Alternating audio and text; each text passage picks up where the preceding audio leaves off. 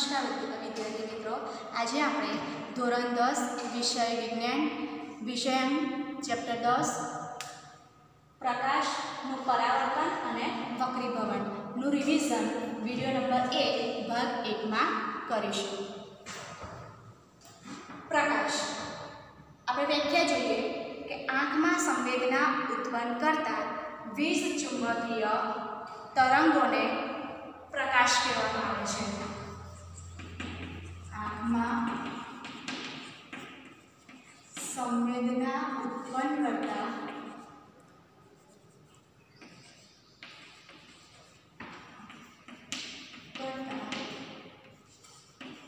વીજ ચુંબકીય તરંગોને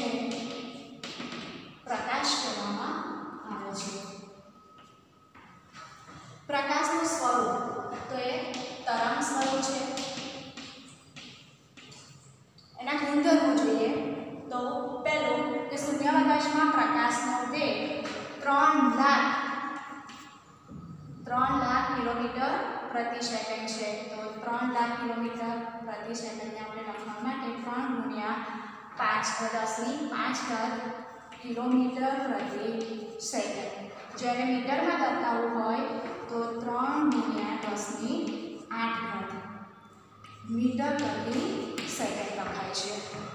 હવે દ્રશ્ય પ્રકાશની તરંગ લંબાઈ જોઈએ તો ચાર હજાર એંગસ્ટ્રોમથી હજાર એંગસ્ટ્રોમથી આઠ હજાર એંગસ્ટ્રોમ હોય છે. બીજી વાત કરીએ કે પ્રકાશના કિરણોના સમૂહને કિરણ પુંજ કહેવામાં આવે છે. પ્રકાશના કિરણોના સમૂહને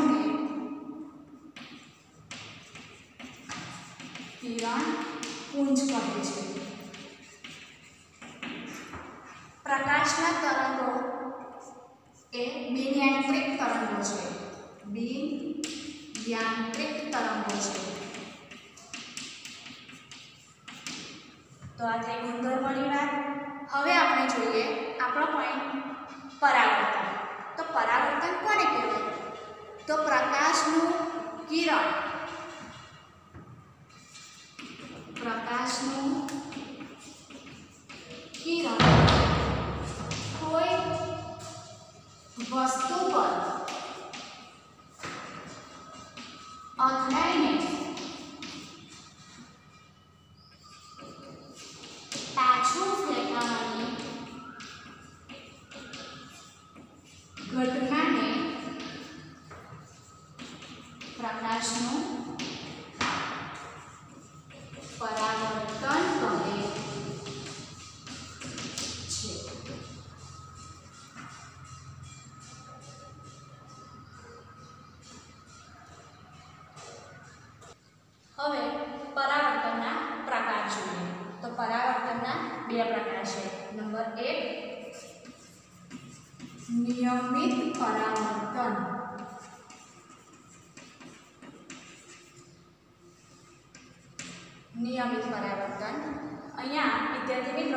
આકૃતિમાં આપણે જોઈ શકીએ છીએ કે અહીં જે આકૃતિ આપેલી છે, નિયમિત પરાવર્તન માટેની, તો જે સપાટી છે કેવી છે? લીસી સપાટી છે. આપણે વ્યાખ્યા લખી શકાય કે જ્યારે પ્રકાશના કિરણો લીસી સપાટી પર આપાત થાય છે. આ જે કિરણ બતાવ્યું છે એ કેવું છે? આપાત કિરણ છે. આપાત કિરણ. આપાત કિરણ લીસી સપાટી પર આપાત થાય છે. ત્યારે પરાવર્તિત કિરણો, એટલે કે લીસી સપાટીને અથડાઈને પાછા ફેંકાય છે. જેને આપણે પરાવર્તિત કિરણો કહે છે. એ પરાવર્તિત કિરણો પરાવર્તિત કિરણો. પણ સમાંતર હોય છે. આપાત કિરણ અને પરાવર્તિત કિરણ બંને આપણને કેવા મળે છે સમાંતર હોય છે તો તેને નિયમિત પરાવર્તન કહેવામાં આવે છે ઉદાહરણ આપીએ તો ઉદાહરણ લખી શકાય કે કાચની સપાટી. કાચની સપાટી પર થતું પરાવર્તન, જેને નિયમિત પરાવર્તન કહેવાય. બીજો પ્રકાર છે અનિયમિત પરાવર્તન. પરાવર્તન, એની આપણે વ્યાખ્યા જોઈએ. તો જ્યારે પ્રકાશના સમાંતર કિરણો જે સપાટી બતાવી છે એ ખરબચડી સપાટી. જ્યારે પ્રકાશના સમાંતર કિરણો ખરબચડી સપાટી પર આપાત થાય છે, આ જે કિરણો આપાત કરેલા છે. આપાત થાય છે ત્યારે જે પરાવર્તિત કિરણો સમાંતર હોતા નથી. અહીંયા આપણે જોઈ શકીએ છીએ મિત્રો કે આ જે પરાવર્તિત કિરણ છે. પરાવર્તિત કિરણ છે એ સમાંતર હતા નથી તે વિખરાઈ જાય છે. તો તેવા પરાવર્તનને અનિયમિત પરાવર્તન કહીએ છીએ. ઉદાહરણમાં આપણે લખી શકીએ કે જમીન પર થતું પરાવર્તન, પુસ્તક પર થતું પરાવર્તન વગેરે. હવે આપણે પરાવર્તનના નિયમો જોઈએ. પરાવર્તનના નિયમો. તો પરાવર્તનના બે નિયમ છે. પહેલો નિયમ આપણે લખીએ કે આપાત કોણ અને પરાવર્તિત કોણ.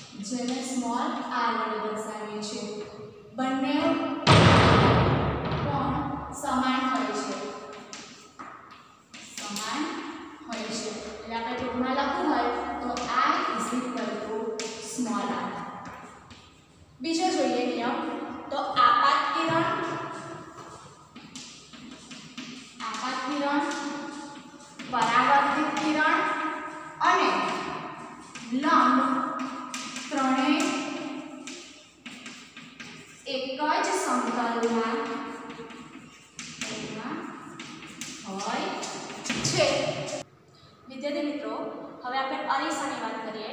તો અરીસાના બે પ્રકાર છે. સમતલ અરીસો અને ગોલીય અરીસો. સમતલ અરીસો કોને કહેવાય? સમતલ અરીસો કોને કહેવાય? તો જે અરીસાની સમતલ અરીસો.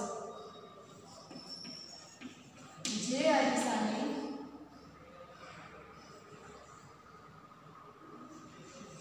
પરાવર્તક સપાટી સમતલ, એટલે કે સપાટ હોય તેને સમતલ અરીસો કહેવામાં આવે છે. ગોલીય ગોલીય અરીસો કોને કહેવાય? તો જે અરીસાની પરાવર્તક સપાટી વક્રાકાર હોય, તેવા અરીસાને ગોલીય અરીસો કહે છે. હવે આપણે સમતલ અરીસાને સમજીએ, તો સમતલ અરીસા માટે અહીંયા એક આકૃતિ કરેલી છે. તો આકૃતિમાં આપણે જોઈ શકીએ છીએ કે સમતલ અરીસો એટલે કે એની સપાટી કેવી હોય છે? લીસી સપાટી છે. અહીંયા જે સમતલ સપાટી, પરાવર્તક સપાટી બતાવેલી છે અને એક બાજુની સપાટ એક બાજુની જે દળ છે એ અપા- અપારદર્શક છે. અહીંયા જે આકૃતિમાં સમતલ અરીસો બતાવેલો છે, તેની કોઈ એક વસ્તુને આપણે સમતલ અરીસાની સામે રાખવામાં આવે છે. વસ્તુની ઊંચાઈ છે એને એચ લેવામાં આવે છે. તો વસ્તુની વસ્તુને અરીસાની સામે રાખવામાં આવે છે ત્યારે તેનું જે પ્રતિબિંબ છે એ પણ તેની ઊંચાઈ જેટલું જ મળે છે. બીજી વાત કરીએ, તો આ થઈ એની લાક્ષણિકતાઓ. તો આપણે પહેલી લાક્ષણિકતા લખી શકાય કે સમતલ અરીસામાં પ્ર- વસ્તુની ઊંચાઈ અને આપણે વસ્તુની ઊંચાઈ h લઈશું અને પ્રતિબિંબ ઊંચાઈ h ડેશ કહીએ છીએ બંને કેવી હોય છે સમાન હોય છે બીજી લાક્ષણિકતા જોઈએ તો વસ્તુ અંતર વસ્તુ અંતરને આપણે u વડે દર્શાવીએ છીએ અને પ્રતિબિંબ અંતરને v વડે દર્શાવીએ છીએ તો u બરાબર v પ્રતિબિંબ અંતર અને વસ્તુ અંતર પણ સરખું હોય છે બીજી લાક્ષણિકતા જોઈએ તો પ્ર- અ, સમતલ અરીસામાં પ્રતિબિંબ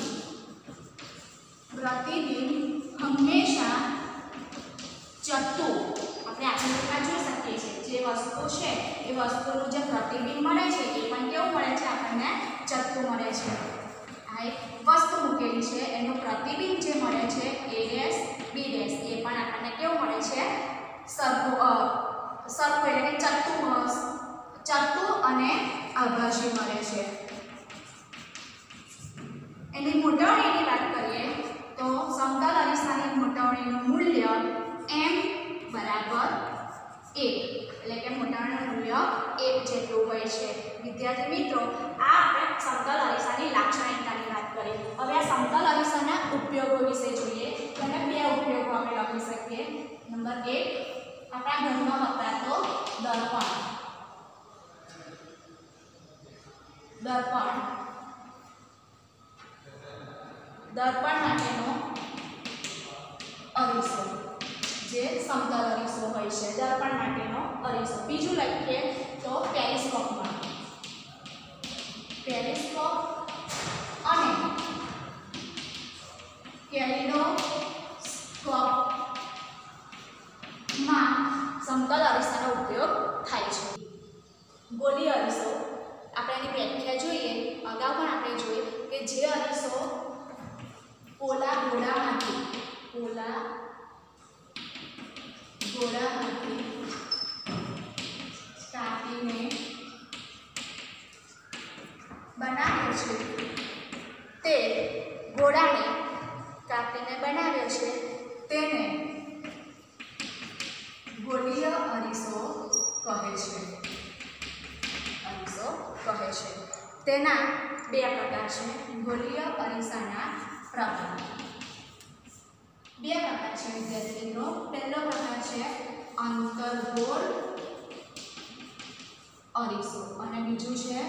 બહિર્ગોળ અરીસો અંતર્ગો અરીસાની આપણે વ્યાખ્યા જોઈએ તો અંતર્ગો અરીસાની વ્યાખ્યામાં આપણે એની જે ગોલીય અરીસાની આપણે વાત કરી, એ ગોલીય અરીસાની એક સપાટી પારદર્શક હોય છે અને બીજી સપાટી અપારદર્શક હોય છે. તો અંતર્ગો અરીસામાં અંદરની સપાટી અંદરની સપાટી ચડાવતી હોય. એટલે કે પરા પારદર્શક હોય છે તેવા થોડા અરીસાને આપણે અંતર્ગો અરીસો કહીએ છીએ. જ્યારે બહિર્ગોળ અરીસાની વાત કરીએ, તો જે અરીસાની ઉપસેલી સપાટી ઉપસેલી સપાટી ઉપસેલી સપાટી ચડ ચડકાટવાળી હોય તેને બહિર્ગોળ અરીસો કહેવામાં આવે છે. તો આ બંને અરીસાની આપણે વાત કરી. એમાં પહેલો અરીસો જોઈએ આપણે અંતરગોળ અરીસો. એને કેટલીક વ્યાખ્યાઓ સમજી લઈએ આપણે કે અંતર્ગોળ અરીસામાં આ આપણને એક અંતર્ગોળ અરીસાની આકૃતિ દોરેલી છે. એમાં આપણે જોઈ શકીએ છીએ, વિદ્યાર્થી મિત્રો, કે અંદરની જે ધર છે અંતર્ગોળ અરીસામાં જ્યાં અંદરની ધર છે એ પરાવર્તક સપાટી છે. એવી સપાટી કહીશું? પરાવર્તક સપાટી. પરાવર્તક સપાટી છે. અને બીજી જે બહારની સપાટી છે એ અપારદર્શક છે, જેને આપણે રંગી દેવામાં આવે છે. હવે અહીં જે એમ અને એન બતાવ્યું છે મેં અરીસાની એક ધરને એમ અને બીજી ધરને એન વડે દર્શાવેલ છે. જેને આપણે દર્પણ મુખ કહે છે. શું કહે છે? દર્પણ મુખ. તો આપણે વ્યાખ્યા લખી શકીએ વિદ્યાર્થી મિત્રો કે ગોલીય અરીસાની અરીસાની જે ધર છે, એ ધર સપા, અરીસાની ધરને દર્પણ મુખ કહેવામાં આવે છે. અહીં દર્પણ મુખ તરીકે કોણ લખેલ શું લખેલ છે આપણે? એમ જે દર્પણ મુખ બતાવે છે. બીજી વાત જોઈએ તો ગોલીય અરીસાના જે મધ્ય કેન્દ્ર છે, મધ્ય બિંદુ જે બને છે, એ મધ્ય બિંદુ આપણે કહીએ છીએ પી જેને આપણે ધ્રુવ કહેવામાં આવે છે. એનું નામ છે ધ્રુવ, જેને પી વડે દર્શાવે છે. આગળ ગોલીય અરીસાના, ગોલીય અરીસાને જે મધ્ય કેન્દ્ર બને છે, ગોલીય અરીસાને જ્યારે કાપીને બનાવવામાં આવે છે, ત્યારે તેનું જે કેન્દ્ર છે, એ કેન્દ્રને વક્રતા કેન્દ્ર કહેવામાં આવે છે. વક્રતા કેન્દ્ર, જેને આપણે સી વડે દર્શાવીએ છીએ. આગળ, ગોલીય અરીસાની ગોલીય અરીસામાં ધ્રુવ પી અને વક્રતા કેન્દ્ર સી. વચ્ચેના અંતરને વચ્ચેના અંતરને એટલે અહીંયાથી પીથી સી સુધીના અંતરને વક્રતા ત્રિજ્યા, જેને આપણે કેપિટલ આર વડે દર્શાવીએ છીએ. આગળ ગોલીય અરીસાના મધ્ય ગોલીય અરીસામાં વક્રતા કેન્દ્ર અને પીમાંથી એક રેખા પસાર કરવામાં આવે છે. તે રેખાને કહેવામાં આવે છે મુખ્ય અક્ષ. આપણે જોઈ શકો છો, આ જે રેખા દોરેલી છે કે જે વક્રતા કેન્દ્ર અને પીમાંથી પસાર થાય છે, એને કહેવાશે મુખ્ય અક્ષ કહેવામાં આવે છે. આગળ, વક્ર ગોળીય અરીસામાં એની પરાવર્તક સપાટી પર જ્યારે પ્રકાશના કિરણો આપાત કરવામાં આવે છે. પ્રકાશના કિરણોને આપાત કરવામાં આવે છે. ત્યારે તેના કિરણો ગોલીય અરીસાને અથડાઈને એક જ મુખ્ય અક્ષ પરથી એક જ બિંદુમાંથી તે પરાવર્તન પામે છે.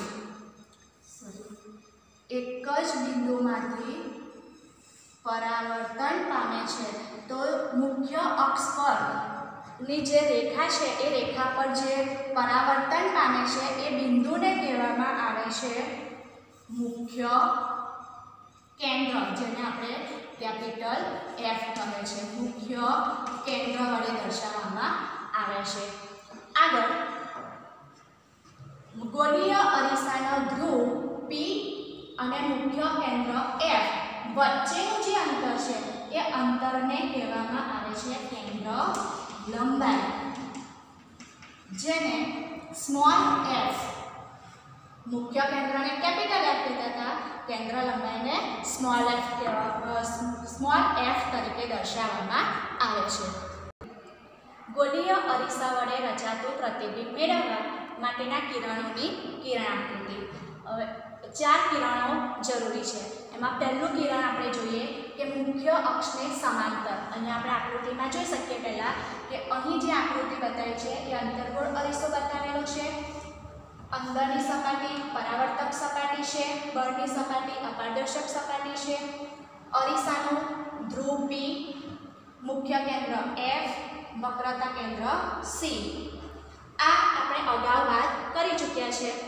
હવે આપણે જે કિરણની વાત કરીએ, એમાં પહેલું કિરણ કે જ્યારે ગોલીય અરીસા પર મુખ્ય અક્ષને સમાંતર, આ જે મુખ્ય અક્ષ છે, મુખ્ય અક્ષ, મુખ્ય અક્ષને સમાંતર જ્યારે પ્રકાશના કિરણો અરીસા પર આપાત કરવામાં આવે છે, ત્યારે તેના જે કિરણ છે, એ ક્યાંથી પસાર થાય છે, તો આપણે જોઈ શકીએ છીએ એફ મુખ્ય કેન્દ્ર એફમાંથી પસાર થાય છે. એટલે આપણે અહીંયા લખીશું કે મુખ્ય અક્ષને સમાંતર આપાત કિરણ પસાર કરતાં પરાવર્તિત કિરણ,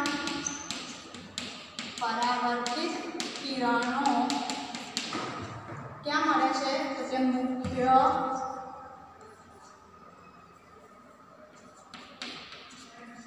કેન્દ્રમાંથી પસાર થાય છે. એવી જ રીતે બીજા કિરણની વાત કરીએ કે જ્યારે પ્રકાશના કિરણો અરીસા પર આપાત કરવામાં આવે છે, મુખ્ય કેન્દ્રમાંથી પસાર થતું હોય. મુખ્ય કેન્દ્ર એફમાંથી જ્યારે આપાત કિરણ પસાર થાય છે, ત્યારે અરીસાને અથડાઈને જે પરાવર્તિત થાય છે, તે અરીસા મુખ્ય અક્ષને સમાંતર પસાર થાય છે. એટલે પરાવર્તિત કિરણ આવશે પરાવર્તિત કિરણો ક્યાંથી પસાર થાય છે? તો મુખ્ય અક્ષને સમાંતર પસાર થાય છે. આ મુખ્ય અક્ષને સમાંતર પસાર થાય છે.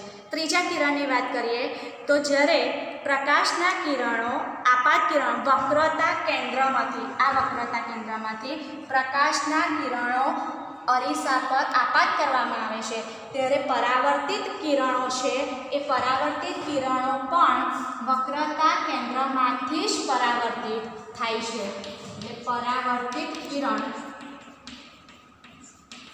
એ પણ ક્યાંથી મળે છે આપણને? વક્રતા કેન્દ્ર સીમાં જ મળે છે. આગળ ચોથા કિરણની વાત કરીએ તો અરીસાના મુખ્ય અક્ષ સાથે, અરીસાના મુખ્ય અક્ષ સાથે નિશ્ચિત કોણ બનાવી આપણે અહીંયા ચાર નંબરની કિરણાકૃતિ માટે આકૃતિ દોરેલી છે નિશ્ચિત કોણ બનાવી, અહીં આપાત કિરણ બતાવેલું છે.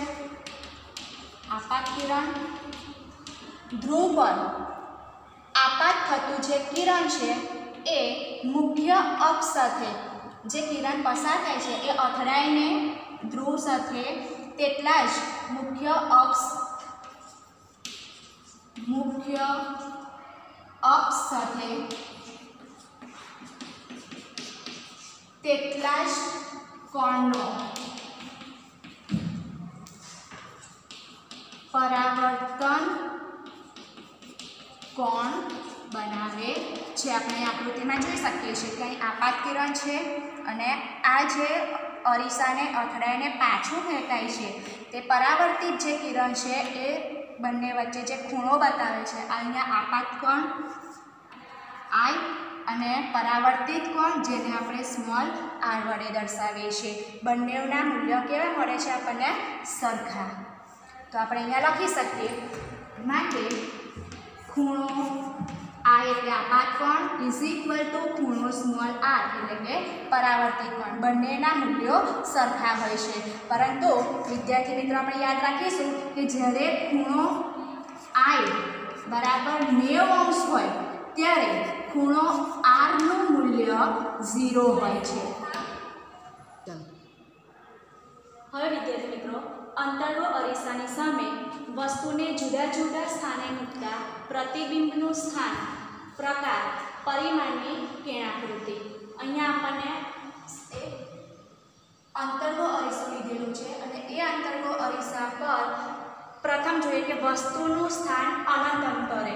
આ વસ્તુનું જે સ્થાન છે એ અનંત અંતરે હોય છે અને અનંત અંતરે રાખતા અનંત અંતરે. ત્યારે પ્રતિબિંબનું સ્થાન એફ પર. આ જે એફ છે ત્યાં પ્રતિબિંબનું સ્થાન એફ પર બિંદુવત સ્વરૂપે મળે છે.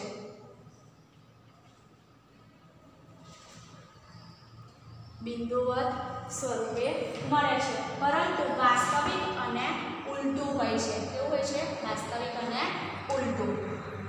બીજું જોઈએ કે જ્યારે વસ્તુનું સ્થાન સીથી દૂર, એટલે કે વક્રતા કેન્દ્રથી દૂર આ એક વસ્તુ છે ને એ વસ્તુ એવી વસ્તુ છે સીથી દૂર. ત્યારે એનું પ્રતિબિંબ છે, એ સી અને એફની વચ્ચે મળે છે.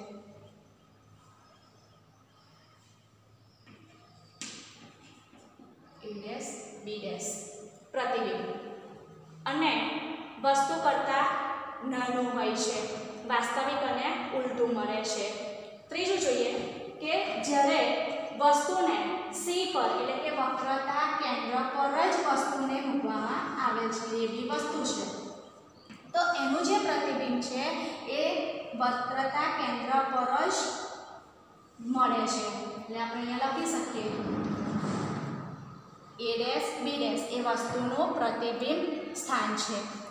એ પ્રતિબિંબ સ્થાન વસ્તી પર જ મળે છે અને વસ્તુ કર- વસ્તુના કદ જેટલું જ હોય છે. જેટલી વસ્તુ હોય એના કદ જેટલું જ આપણને પ્રતિબિંબ મળે છે. પરંતુ તે વાસ્તવિક અને ઉલટું હોય છે. આપણે લખ્યું વાસ્તવિક અને ઉલટું હોય છે. હવે વસ્તુને સી અને એફની વચ્ચે મૂકવામાં આવે છે. સી સી અને એફની વચ્ચે. સી પર આવી ગયું. સી અને એફની વચ્ચે મૂકવામાં આવે છે. અહીંયા. વસ્તુને સી અને એફની વચ્ચે અહીં એ ડી આ વસ્તુ છે. અને વક્રતા કેન્દ્ર અને મુખ્ય કેન્દ્રની વચ્ચે મૂકવામાં આવે છે. ત્યારે તેનું પ્રતિબિંબ સીથી દૂર, વાસ્તવિક અને ઉલટું, વાસ્તવિક અને ઉલટું, પરંતુ વસ્તુ કરતાં મોટું મળે છે. લખ્યું છે, વસ્તુ કરતાં મોટું મળે છે. પાંચમી જોઈએ તો વસ્તુને જ્યારે મુખ્ય કેન્દ્ર એફ પર મૂકવામાં આવે છે. મુખ્ય કેન્દ્ર એફ પર. મુખ્ય કેન્દ્ર એફ છે. એના પર વસ્તુને આપણે મૂકેલું છે એવી વસ્તુ છે. તો તેનું જે પ્રતિબિંબ છે એ અનંત અંતરે. આપણે અહીંયા પ્રતિબિંબ કરે પ્રતિબિંબ છે એ અનંત અંતરે ખૂબ જ વિવર્ધિત મળે છે. છઠ્ઠું જોઈએ. તો જ્યારે વસ્તુને પી અને એફની વચ્ચે પી એટલે અરીસાનો ધ્રુવ એફ એટલે મુખ્ય કેન્દ્ર. આ બંનેની વચ્ચે વસ્તુને મૂકવામાં આવે છે. અહીંયા એ બી વસ્તુ છે. ત્યારે આપણને તેનું પ્રતિબિંબ અરીસાની પાછળની તરફ આરીસો છે એની પાછળની તરફ વસ્તુ કરતાં મોટું વિવર્ધિત કહીએ છીએ આપણે અને આભાસી અને ચત્તુ જેવું વસ્તુ છે, એવું એવું જ વસ્તુ આપણને દેખાય છે. એટલે તે પણ આપણે લખી શકીશું એ એ ડેશ, ડી ડેશ. પ્રતિબિંબનું વસ્તુનું પ્રતિબિંબ જેને આપણે એ ડેશ, ડી ડેશ વડે દર્શાવીએ છીએ. એટલે અરીસાની પાછળ વસ્તુ કરતાં મોટું, આભાસી અને ચત્તું મળે છે. હવે વિદ્યાર્થી મિત્રો આપણે બહિર્ગોળ અરીસાની વાત કરીએ બહિર્ગોળ અરીસા બહિર્ગોળ અરીસાના આપણે પ્રતિબિંબની વાત કરીએ તો અહીંયા બહિર્ગોળ અરીસામાં ઉપસેલી સપાટી પરાવર્તક હોય છે જ્યારે આપણે અંદરની સપાટીને અપારદર્શક રંગીન રંગેલી છે રંગેલી છે પી એ બહિર્ગોળ અરીસાનો ધ્રુવ કહીએ છીએ આપણે એફ મુખ્ય કેન્દ્ર સી વક્રતા કેન્દ્ર કહે છે. હવે વસ્તુને વસ્તુને કોઈ પણ સ્થાને, કોઈ પણ સ્થાને મૂકતા પ્રતિબિંબ આપણને હંમેશા અહીંયા વસ્તુ મૂકેલી છે. એટલે બહિર્ગોળ અરીસામાં વસ્તુને કોઈ પણ સ્થાને મૂકવામાં આવે છે, ત્યારે હંમેશા પ્રતિબિંબ ચત્તું આભાસી અને નાનું મળે છે. અને અરીસાની પાછળની બાજુએ, આ જે અરીસો છે, એની પાછળની બાજુએ આપણને, એટલે કે વસ્તુની વિરુદ્ધ દિશામાં મળે છે. આગળ બહિર્ગોળ અરીસાના ઉપયોગની વાત કરીએ, તો બહિર્ગોળ અરીસાનો ઉપયોગ વાહનોમાં સાઇડ ગ્લાસ સાઇડ ગ્લાસ તરીકે થાય છે આપણે કારણ શકાય છે કે વાહનોમાં સાયક્લાસનો ઉપયોગ બહિર્ગોળ લેન્સ ગ્લાસમાં બહિર્ગોળ અરીસાનો ઉપયોગ કરવામાં આવે છે. કારણ કે તેનો જે દ્રશ્ય દ્રશ્ય વિસ્તાર છે, દ્રશ્ય વિસ્તાર મોટો હોય છે. અને વાહન ચાલક સરળતાથી સુરક્ષિત રીતે વાહન ચલાવી શકે છે. એટલે કહી શકાય કે વાહનોમાં સાયક્લાસ તરીકે બહિર્ગોળ અરીસાનો ઉપયોગ થાય છે. હવે જોઈએ અંતર્ગોળ અરીસાનો ઉપયોગ. પહેલો ઉપયોગ જોઈએ તો ટોર્ચ